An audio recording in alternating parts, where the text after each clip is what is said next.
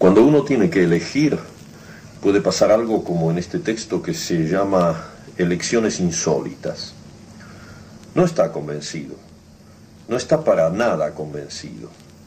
Le han dado a entender que puede elegir entre una banana, un tratado de Gabriel Marcel, tres pares de calcetines de nilón, una cafetera garantida, una rubia de costumbres elásticas, o la jubilación antes de la edad reglamentaria pero sin embargo no está convencido.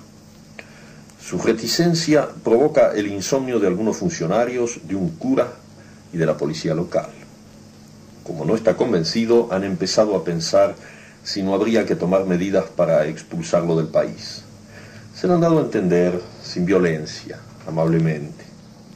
Entonces ha dicho, en ese caso, elijo la banana. Desconfían de él, es natural. Hubiera sido mucho más tranquilizador que eligiese la cafetera, o por lo menos la rubia.